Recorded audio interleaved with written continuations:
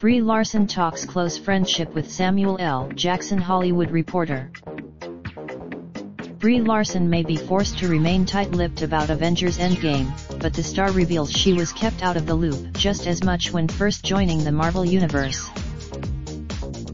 During a sit-down with Jimmy Fallon on The Tonight Show Wednesday night, the actress said she hadn't even filmed yet before filming the final Avengers film, so she wasn't sure what to fully expect. I arrived and they gave me a piece of paper. It was a full page. She also explained that when filming Captain Marvel, she had to act by herself in front of a green screen where she had to speak to five people and say where's Fury? But could only direct her gaze on the various tape marks that had been placed on set.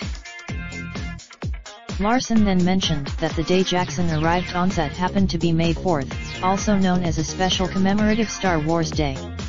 Aware that Lars, he walked in and dropped this bag in my lap.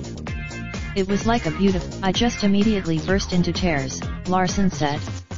I don't even, nonetheless, Larson said she thinks Jackson has cinematic immunity and does whatever he wants including building his own lightsaber.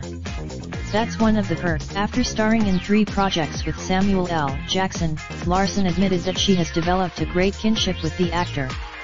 In fact, Larson also said that to ease any stressful times, she would keep a hula hoop on set, which came in handy the votes were coming in from the presidential election on set, and I was hula hooping a lot. She also mentioned, later in the night, Larson and Fallon also showed off their VR skills in the game Beat Saber. Our affiliate publications.